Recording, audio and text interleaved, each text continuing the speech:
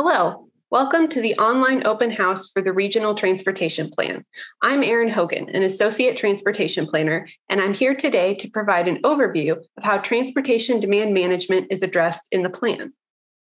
Transportation Demand Management, or TDM, refers to programs designed to reduce congestion, fuel consumption, and air pollution by encouraging alternatives to driving alone. These alternatives include transit, carpools, van pools, walking, biking, teleworking, etc.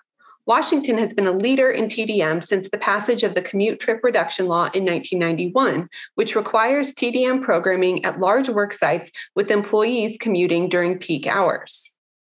The Commute Trip Reduction Law has been successful in addressing many commute trips.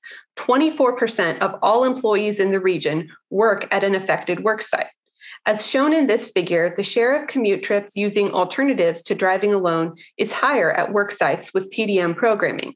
Across all work sites in the region in 2018, 33% of trips were made by alternatives to driving alone. At work sites with TDM programs, that number increases to 47%. Most TDM programs are designed to serve commute trips. However, these account for less than a quarter of all trips in the region, according to the Regional Household Travel Survey. More data is needed to better understand the successes, challenges, and opportunities of TDM in our region. Such data could help us understand which strategies work best for encouraging alternatives to driving alone and how well TDM is serving traditionally marginalized populations like people of color or low income populations, as well as the many workers who do not travel during traditional peak hours.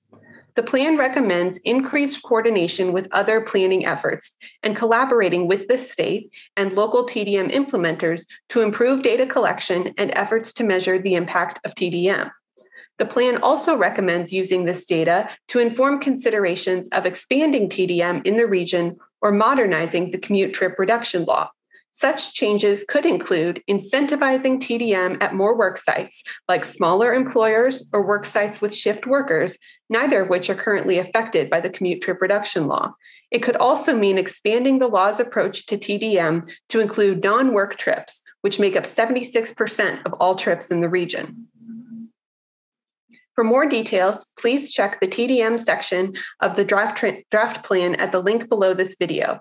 We'd love to hear your comments and ideas. Please provide feedback by clicking on the button below this video or through the comment form on the main page.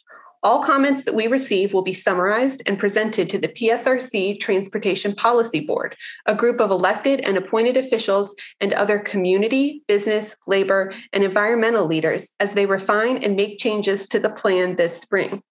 Thank you for visiting our online open house, and please check out the other topics.